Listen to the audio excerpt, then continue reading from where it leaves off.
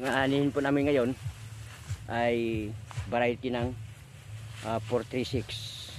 Ganda at haba-haba ang kanyang ah, bunga mga kaparmers. Oh.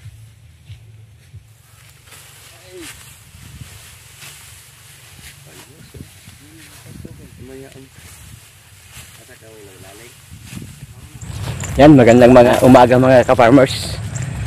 So, unang-una po sa lahat, maraming maraming salamat sa ating Panginoon na ngayong araw na po ito mga ka-farmers kahit nandito po yung low pressure sa area dito sa Mindanao, lalo-lalo po dito sa Davao. So, patuloy pa rin kami mga ka-farmers sa aming ginagawa bilang isang magsasaka. So, ngayong araw na ito mga ka-farmers ay pag magma-manual po tayo sa pag-aani ng palay doon sa aking kuya Greg siya nga pala ka-farmers nandyan po si ano Jojo ka-farmers Jojo. Yan sama ko. Magandang umaga po.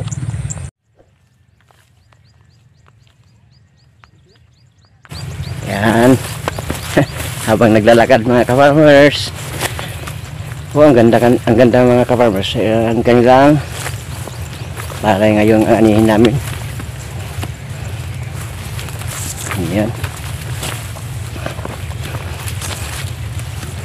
kung alam nyo mga ka-farmers ngayon na ako nagsisimula na magbablog na nag-iisa. Wala na yung kasama ko. Dahil napikin sa panahon. Alam nyo naman mayroong tayong trabaho. Mayroon din silang ibang trabaho. Kaya susuruhin ko muna ang pagba pagbablog mga ka-farmers. Kung kung mga ka-farmers mayroong uh, pakilap-kilap yan ng kan yung kamay yan mga ka-farmers ito po yung aming anin nag-aani na po yung mga kasama namin mga ka-farmers. Nandyan si ka-farmers Bong Jungjong Malin at saka si Andy yan mga ka-farmers. Gandang kami ito ka-farmers oh. yung palay na malagkit. Yung brown ang kanyang ah, panit. Mga ka-farmers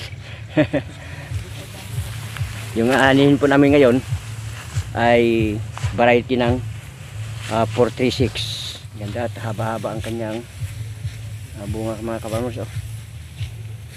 dito ka-farmers mas mag maganda ngayong wheat season yung 436 para ma matigas ang kanyang buto.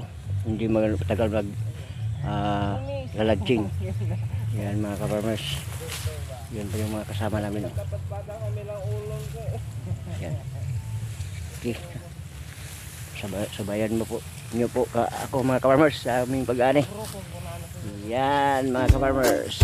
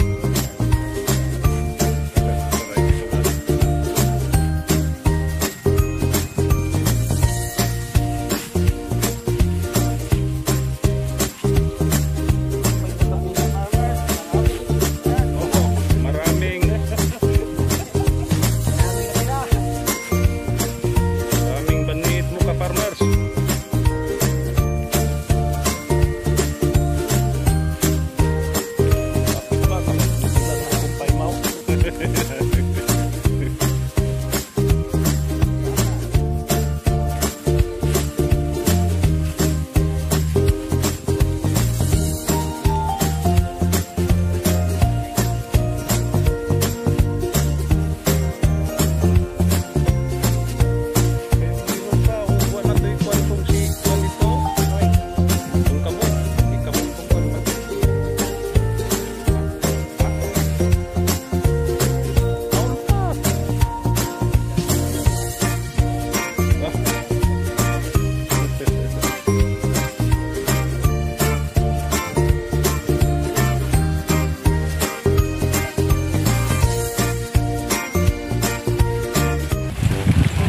Kaya nagkarating din Albert nga. Hmm.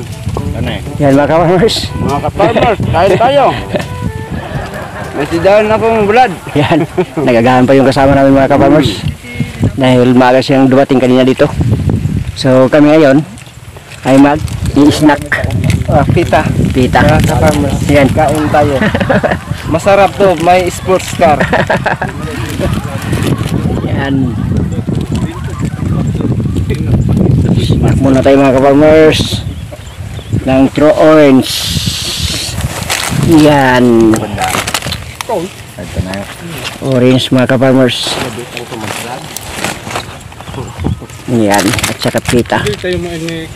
Para mayroon din tayong lakas.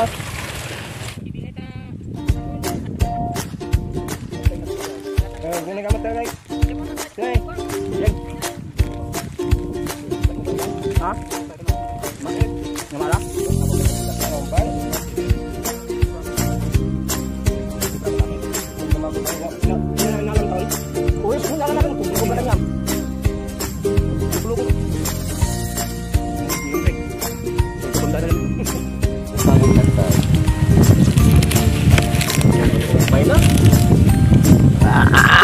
nasihat nasihat bye grabe kaya kamu pakita sa kong cellphone ba tandas magabot dito saya yung mga asawa di ko di ka pakita kung kung yung gawin di bulitan hamloy murag murag din ulit ko siya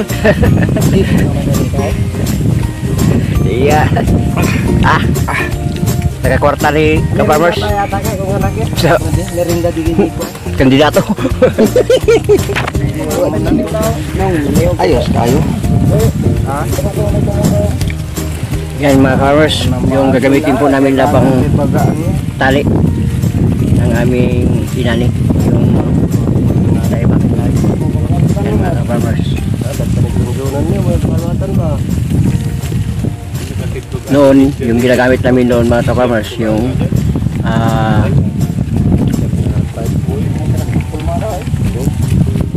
kuan ng squad saging bal- saging yung ganit ganyan ganito ka oh. yung Tuyo na. tuyo na kuan na saging sa dahon Palak. palak Yung yes. ito noon ang ginagamit namin so sa tagal-tagal na paggagamit din namin so meron din naka-discover na maganda pala yung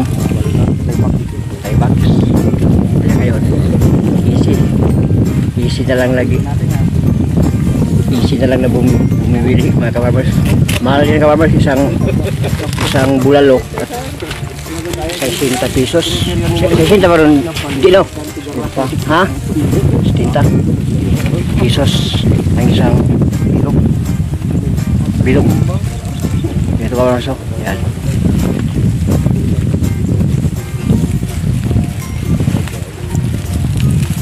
So, parehas kami konti ka farmers. dito. So, mamaya mamaya, magsimula na po kami sa pagbabandel. nakasali ko dito man yan. Yan mga ka-farmers. Dito po sa kabila, ang kumpanya ng Sinjinta. So ngayon po ang kanilang pollination ka-farmers hindi pa natapos. Ika labing isa o unsing araw na ito ka-farmers sa kanilang pagpapulinit din. So nahuli ang kanilang pagta pagtanim. Yan mga ka-farmers. Kanina yung nadaanan po natin ay kumpanya ng ah Sterling. So ngayon naman po dito sa tabi ng aming inanihan ay kumpanya ng Sinjinta rin. Yan mga ka-farmers. Ito po ang kanilang babae. Yan mga ka-farmers.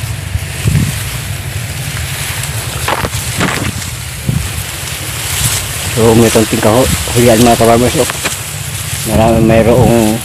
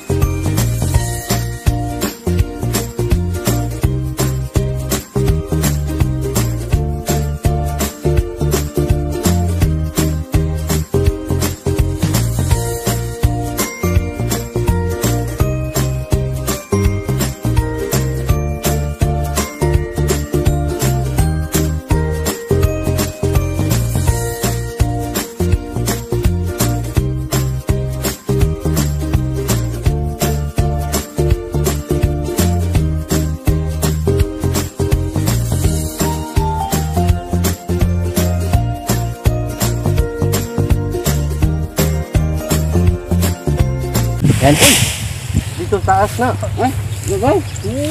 Maraming maraming salamat sa mga secret viewers ko dyan.